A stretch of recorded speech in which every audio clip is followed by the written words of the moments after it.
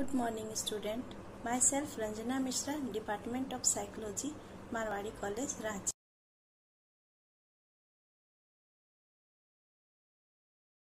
आज हम लोग व्यक्तित्व के प्रकार पढ़ेंगे।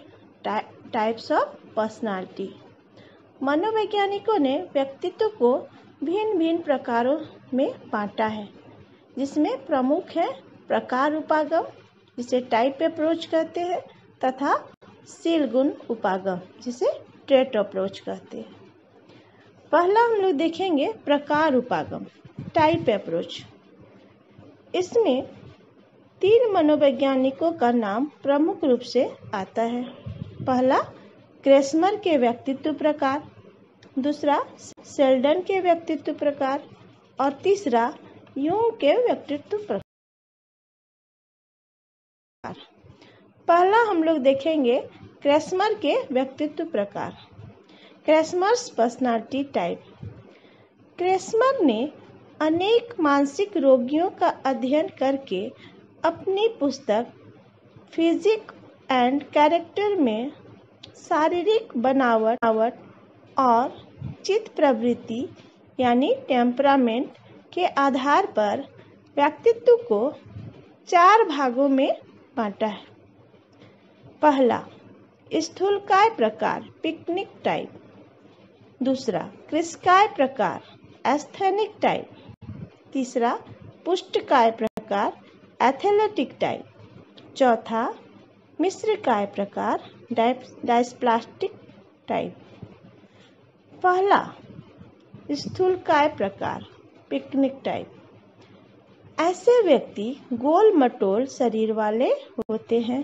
इनका शरीर भारी, हाथ पैर छोटे छोटे गर्दन मोटी, चेहरा चौड़ा तथा पेट निकला होता है।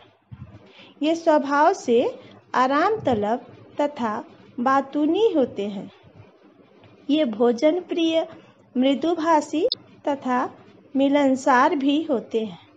ऐसे व्यक्तियों में मानसिक रोग, रोगों की उत्पत्ति होने पर उत्साह विषाद मनोविकृति यानी मैनिक डिप्रेसिव साइकोसिस होने की संभावना अधिक रहती है।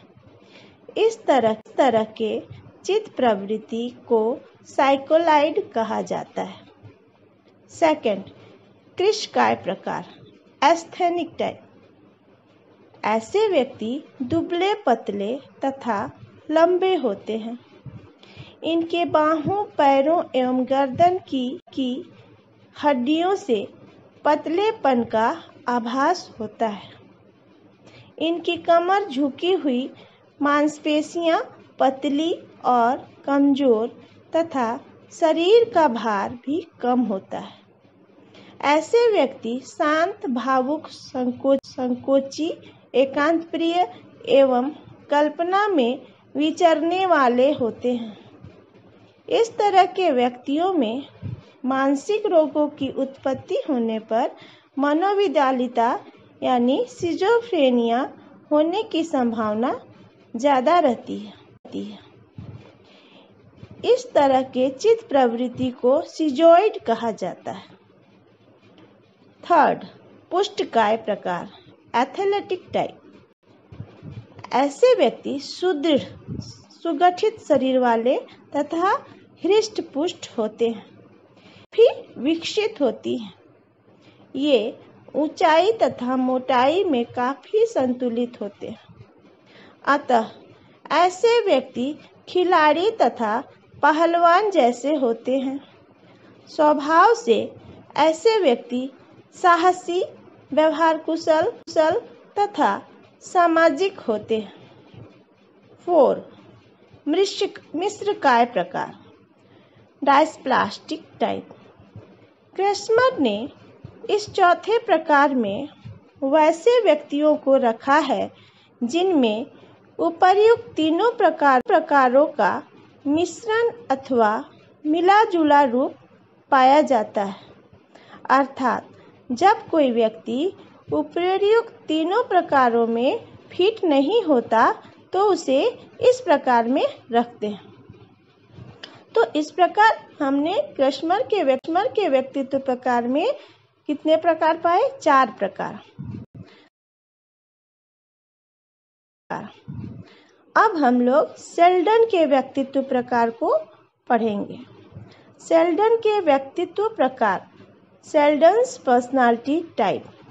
सेल्डन ने अपने अध्ययनों के आधार पर अपनी पुस्तक द वेराइटीज में शारीरिक बनावट और चित्त प्रवृत्ति या स्वभाव के आधार पर व्यक्तित्व को तीन प्रकार का बताया है।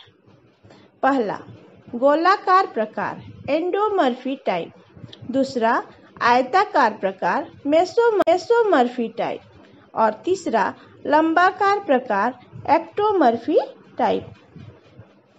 पहला गोलाकार प्रकार एंडोमर्फी टाइप ऐसे व्यक्ति नाटे मोटे तथा देखने में भारी लगते हैं। इनका शरीर चिकना, पेट बड़ा तथा निकला हुआ होता है। सेल्डन का यह प्रकार क्रेस्मर के स्थूल का प्रकार से मिलता जुलता है। स्वभाव से इस प्रकार के व्यक्ति आराम तलब, खुश मिजाज, भोजन प्रिय एवं गहरी नींद सोने वाले होते हैं। ऐसे व्यक्ति समाज के अनुमोदन और प्रशंसा की तीव्र इच्छा रखते हैं। सेल्डन ने ऐसे व्यक्ति के चित्त प्रवृत्ति को विसुरटोनिया कहा। सेकेंड आयताकार प्रकार। मेसोमर्फी टाइप ऐसे व्यक्ति मांसपेशियों एवं हड्डियों से मज़बूत एवं शक्तिशाली होते हैं। इनका शरीर गठा हिस्ट पुष्ट तथा मज़बूत दिखाई देता है। सेल्डन का यह प्रकार क्रेस्मर के पुष्टकाय प्रकार से मिलता जुलता है। स्वभाव से इस प्रकार के व्यक्ति साहसी शक्तिशाली, प्रतियोगी तथा अपने अधिकार के प्रति जागरूक और क्रियाशील होते हैं। सेल्डन ने ऐसे व्यक्ति के चित्त प्रवृत्ति को सोमेटोटोनिया कहा है। थर्ड लंबाकार प्रकार। एक्टोमर्फी टाइप ऐसे व्यक्ति दुबले पतले, लंबे तथा कोमल होते हैं। शारीरिक रूप से ये दुर्बल होते हैं। अतः परिश्रम वाले कामों के लिए अक्षम होते हैं। सेल्डन का यह प्रकार क्रेस्मर के किस क्रिस काय प्रकार से स्वभाव से इस प्रकार के व्यक्ति संकोची, भावुक तथा एकांत प्रिय होते हैं। ये शारीरिक रूप से कम क्रियाशील होते हैं तथा थोड़ा ही काम करने पर थकान का अनुभव करने लगते हैं। सेल्डन ने ऐसे व्यक्ति के चित्त प्रवृत्ति को सेरिबोटोनिया कहा है।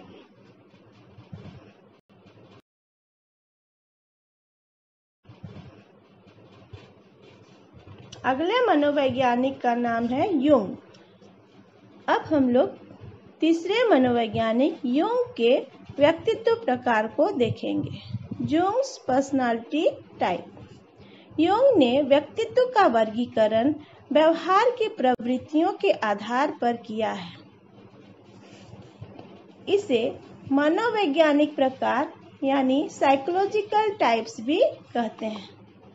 व्यक्तित्व का यह वर्गीकरण आज भी प्रचलित है। इनके अनुसार व्यक्तित्व के दो प्रकार हैं। पहला, अंतर्मुखी, यानी इंट्रोवर्ट और दूसरा बहिर्मुखी, यानी एक्सट्रोवर्ट पहला, अंतर्मुखी। अंतर्मुखी व्यक्तित्व के व्यक्ति आत्म केंद्रित यानी सेल्फ सेंटर्ड होते हैं।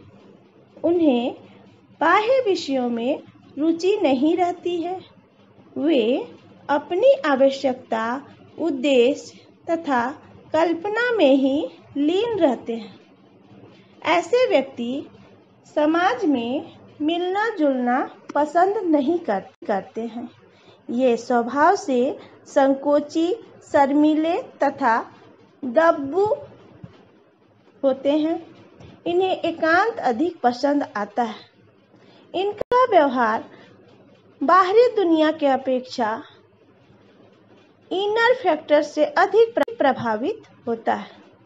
वैज्ञानिक कवि दार्शनिक आदि प्राय अंतर्मुखी व्यक्तित्व के होते हैं। सेकंड बहिर्मुखी एक्सट्रोवर्ट बहिर्मुखी व्यक्तित्व के व्यक्ति स्वभाव से व्यवहार कुशल सामाजिक एवं मिलनसार होते हैं। ये वर्तमान को अधिक महत्व देते हैं। इनमें किसी विषय पर निर्णय लेने तथा उसे कार्यान्वित करने की क्षमता भी अधिक होती है। ये दूसरा साथ देते हैं। अतः इनके मित्रों की संख्या अधिक होती है।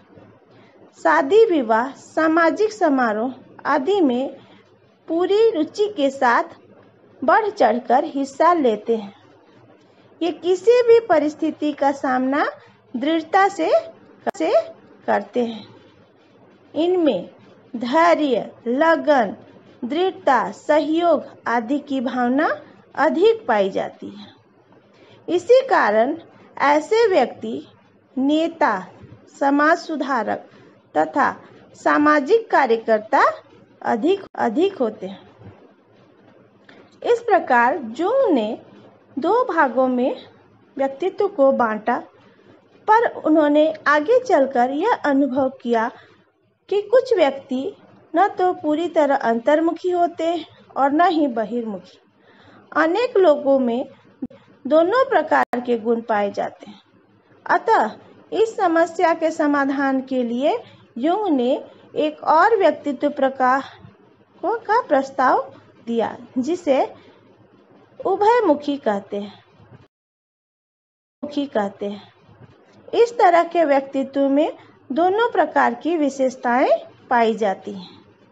इस स्थिति को नॉर्मन प्रोबेबिलिटी कर्व द्वारा दिखाएँ तो यह स्पष्ट हो जाएगा कि अधिकांश व्यक्ति औसत के निकट होते हैं कि तथा बहिर्मुखी दोनों ही व्यक्तित्व के गुण मिले रहते हैं। इस प्रकार स्पष्ट है कि योंग के व्यक्तित्व प्रकार आज भी पहले की तरह मान्य है, क्योंकि इस व्यक्तित्व प्रकार की पुष्टि आइजेंक ने भी भी अपने शोधों द्वारा किया है।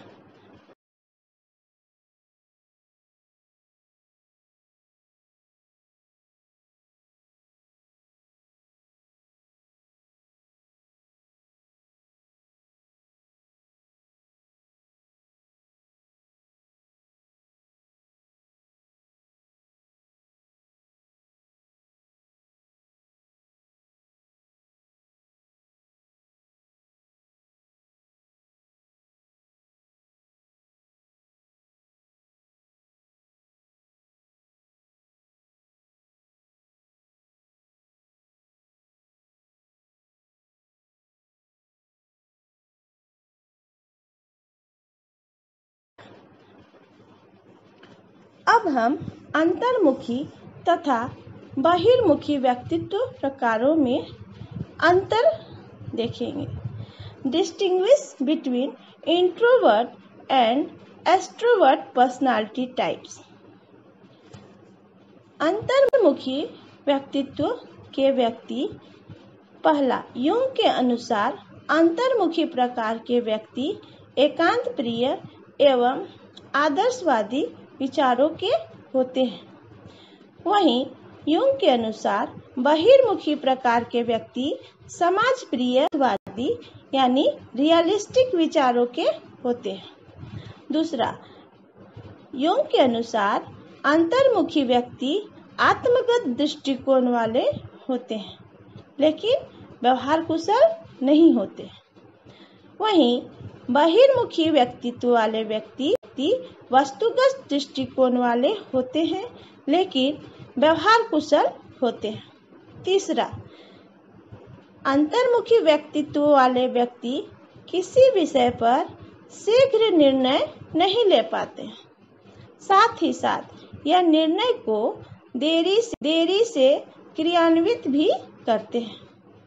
वहीं बहिर्मुखी व्यक्तित्व वाले व्यक्ति किसी विषय पर शीघ्र निर्णय ले लेते हैं। साथ ही साथ यह निर्णय को शीघ्र क्रियान्वित भी करते हैं। चौथा, ऐसे व्यक्ति ऐसे व्यक्ति यानी अंतर्मुखी व्यक्तित्व वाले व्यक्ति भविष्य को प्रधान समझते हैं तथा किसी विषय पर विचार करने में अधिक विश्वास रखते हैं। बहिर्मुखी वाले व्यक्तित्व के व्यक्ति वर्तमान मान को प्रधान समझते हैं तथा किसी विषय पर विचार करने से ज़्यादा कार्य करने में अधिक विश्वास करते हैं। पांचवा, ऐसे अंतर्मुखी वाले व्यक्तित्व वाले व्यक्ति अपने शारीरिक सुखों पर विशेष ध्यान देते हैं। के विचारों का महत्व नहीं देते हैं। किंतु बाहिर्मुखी वाले व्यक्ति दूसरों की भलाई का विशेष ध्यान देते हैं। ये दूसरों के लिए मन, शरीर आदि को कष्ट देते हैं। छठा, योग के अनुसार अंतर्मुखी व्यक्ति, व्यक्तित्व व्यक्तित्व वाले व्यक्ति को प्राय मनोग्रस्ती, बाध्यता, मनोविकृति ऑब्सेसिव कंपल्सिव साइकोसिस नामक रोग से ग्रसित होने की संभावना अधिक होती है, जबकि बहिर्मुखी व्यक्तित्व के व्यक्ति को प्राय प्राय हिस्टीरिया नामक रोग से ग्रस्त होने की संभावना अधिक होती है। सातवां, ऐसे व्यक्ति यानी अंतर्मुखी व्यक्ति अल्पभाषी, संकोची, चिंताग्रस्त तथा अशांत प्रकृति के होते हैं। जबकि बहिर्मुखी व्यक्ति, धारा प्रवाह बोलने वाले, आक्रामक, चिंतामुक्त तथा प्रशंसा प्राप्त करने वाले होते हैं। आठवां, अंतर्मुखी व्यक्ति कल्पनाशील होते हैं, अतः ये वैज्ञानिक, कवि, दार्शनिक आदि होती, होते हैं। जबकि बहिर्मुखी व्यक्ति सामाजिक कार्यों में रुचि लेते हैं, अतः ये नेता समाज सुधारक सामाजिक कार्यकर्ता आदि होते हैं। इस प्रकार स्पष्ट हुआ कि अंतर्मुखी तथा बहिर् प्रकारों में कई अंतर है। व्यक्तित्व के प्रकार के अंतर्गत टाइप अप्रोच यानी प्रकार उपागम का अध्ययन किए। अगले क्लास में हम लोग ट्रेट अप्रोच यानी गुण उपागम को पढ़ेंगे। ठीक है? Thank you